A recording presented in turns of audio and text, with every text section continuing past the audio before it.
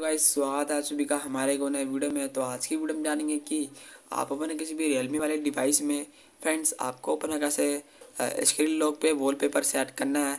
तो guys video को start करते हैं।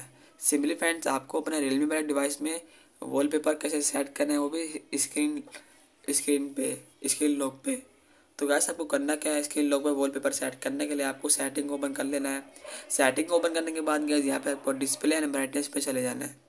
यहाँ पे जाने के बाद फ्रेंड्स आपको नीचे स्क्रॉल करने के बाद यहाँ पे आपको दिखता है वॉलपेपर तो क्लिक करना है क्लिक करने के बाद फ्रेंड्स आपको वॉलपेपर पे आ जाना है।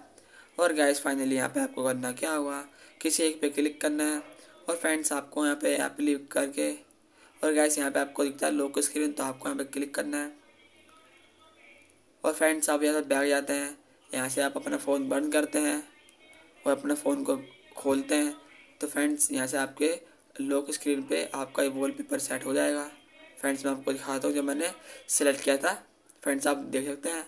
तो मैं आशा करता हूँ कि आपको हमारी वीडियो अच्छी लगी। वीडियो को ज़रूर लाइक करें चैनल को ज़रूर सब्सक्राइब करें। मैं मिलता हूँ नेक्स्ट वीडियो में।